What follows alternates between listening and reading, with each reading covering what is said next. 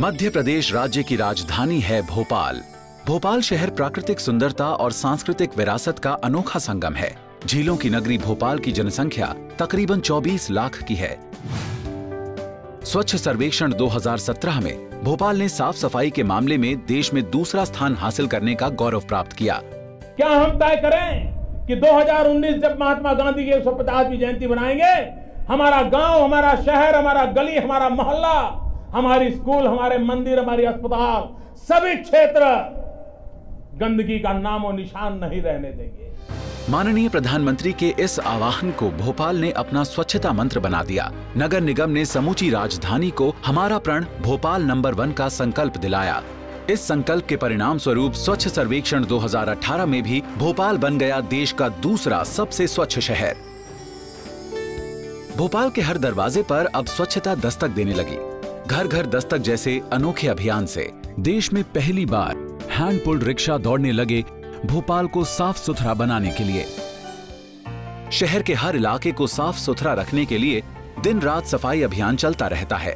भोपाल के सभी कमर्शियल इलाकों की दिन में दो बार जम के सफ़ाई होती है। एक नए प्रयोग के तौर पर भोपाल के 10 कमर्शियल एरियाज़ में एक सौ बहत्तर ट्विन स्मार्ट बिन लगाए गए हैं। अगर गार्बेज ओवरफ्लो होता है या बहुत ज़्यादा कूड़ा गिर रहा हो तो उसका पता कमांड सेंटर को चल जाता है और इस पर तुरंत एक्शन लिया जाता है। जीपीएस सिस्टम के ज़रिए 470 सफ़ाई वाहनों की ट्रैकिंग भी यहीं से होती है। नई सफ़ाई टेक्नोलॉजी के साथ साथ door to door garbage collection और जन जागृति ने भोपाल को दिया एक नया रूप, एक नया रुख। ये नया रुख था भोपाल में 100 प्रतिशत गार्बेज सेग्रीगेशन का। दस्तक देते ही हर घर से ब्लू और ग्रीन डिब्बों में सूखा और गीला कूड़ा अलग अलग ही मिलने लगा। इस कूड़े को कलेक्शन सेंटर से वेस्ट मैनेजमेंट प्लांट में लाकर प्रोसेस किया जाने लगा। भोपाल में लैंडफिल साइट पर ही बायोमिथनेशन प्लांट बनाया गया, जिसमें बायोगैस के साथ साथ खाद भी बनने लगी। भोपाल की ऐसी स्वच्छता गाथा सुनाते रहता है कबाड़ से जुगाड़ वाला ये रेडियो। शहर के बीचों बीच आया जुगाड़ी रेडियो घर घर से इकट्ठे किए गए कचरे को प्रोसेस करके बनाया गया है। और भोपाल ने स्वच्छता का सबसे बड़ा संदेश दिया, तकरीबन चालीस हज़ार एक सौ बत्तीस टॉयलेट्स बनवाकर। पुरुष, महिलाओं और दिव्यांगों के लिए तो अलग अलग सार्वजनिक टॉयलेट्स बनाए गए हैं, लेकिन देश में पहली बार थर्ड जेंडर के लिए विशेष किन्नर शौचालय भोपाल में बनाए गए। पहले जेंट्स टॉयलेट में जाते थे तो सोचना पड़ता था। लेडीज़ टॉयलेट में जाते थे तो सोचना पड़ता था। अब किन्नर शौचालय बनाया है तो हमें काफ़ी सुविधाएँ हैं। भोपाल के प्रमुख बाजारों में महिलाओं के लिए शी लाउंज बनाए गए हैं। सी लॉन्च जो है ना वो महिलाओं के लिए बहुत अच्छा है क्योंकि यहाँ पर हर तरीके की उपलब्ध सुविधाएँ हैं। शी लाउंज जैसे नए प्रयोग के बाद भोपाल पालिका ने हर वर्ग को स्वच्छता अभियान से जोड़ने के लिए स्वच्छ कार्ड स्कीम भी जारी की। स्वच्छ कार्ड धारकों को इससे 5 से 20 फ़ीसदी तक खरीदारी में डिस्काउंट का लाभ मिल रहा है। स्वच्छ कार्ड हम लोग ने सबने बनवा के रखा हुआ है। हम लोग जहाँ भी जाते हैं शॉपिंग करने या कुछ भी तो वहाँ हमें डिस्काउंट मिलता है।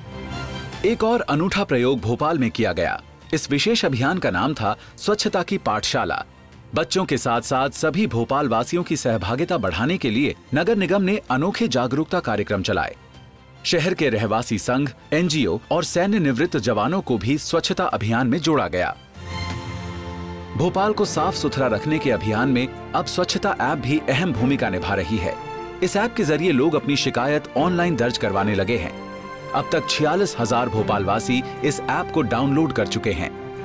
इन सभी अभियानों का परिणाम ये आया कि लोग भोपाल को अपने तरीके से साफ़ सुथरा रखने लगे। अपने एरिया के सारे पार्क डेवलप कर लिए जहाँ पर सुअर बैठते थे आज वहाँ इतना अच्छा है कि बच्चे खेलते हैं और सब अच्छा हो गया है हमारे यहाँ। जगह जगह कचरे के ढेर जो हो रहे थे वो अब हट गए हैं। स्वच्छता अभियान जब से स्टार्ट हुआ है तब से हम लोग बड़े जागरूक हो गए I would say that Bhopal would uh, definitely be a very um, green uh, and successful uh, city in future.